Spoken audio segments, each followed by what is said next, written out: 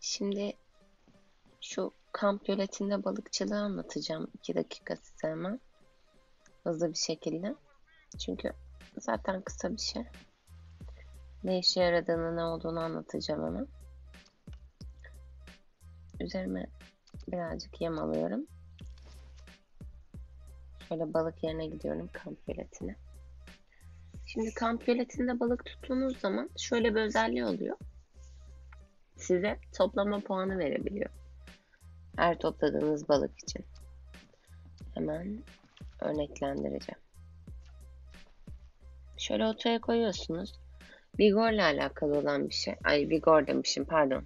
Ee, sizin dinçliğinizle alakalı olan bir şey. Dinçliğiniz eğer varsa kamp göletinde balık tuttuğunuz zaman dinçliğinizden yiyor ve size toplama puanı olarak bunu geri veriyor.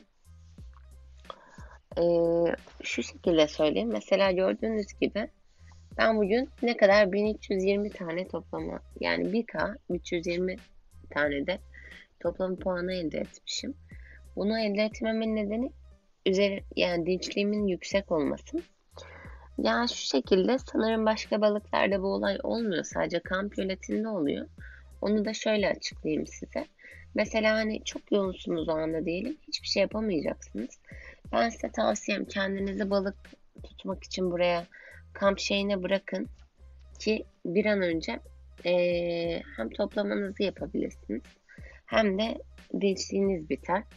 Dinçlik tabii ki yenileniyor kendiliğinden. Fullken onu bitirmek gerekiyor ki bir daha yenilenme süresi uzamasın diye.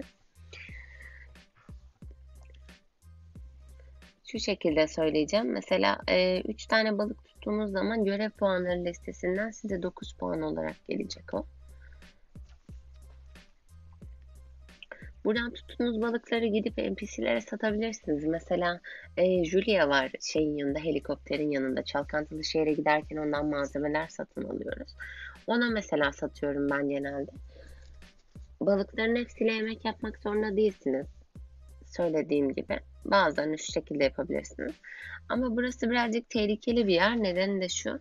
E, şey. Tam böyle yol güzergahında ve herkes geçerken büyük ihtimalle kamp göletine bakıyor orada biri balık tutuyor mu diye. Onun için size şöyle bir şey daha göstereceğim.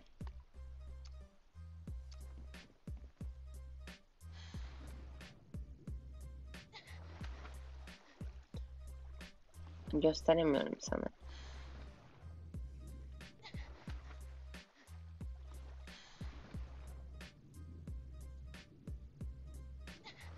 Şöyle geldiğiniz zaman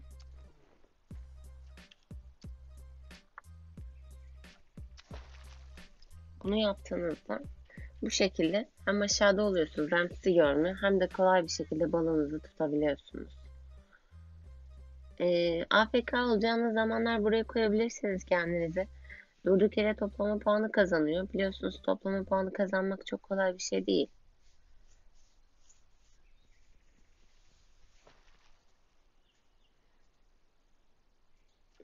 Bu videomda bu kadar. Ekstra bir sormak istediğiniz bir şey olursa bana sorabilirsiniz. İzlediğiniz için teşekkür ederim.